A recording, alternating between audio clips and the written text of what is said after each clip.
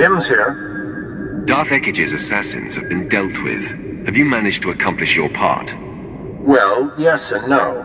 I found a route into the deep prison, but it was a struggle, and unfortunately the way collapsed behind me. Bad luck, that. You'll have to find a different route to this level. Tell me where to find you. Isn't that nice?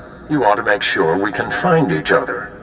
Sending the coordinates for our rendezvous. From there, it's quick to Darth Ekkage's cell.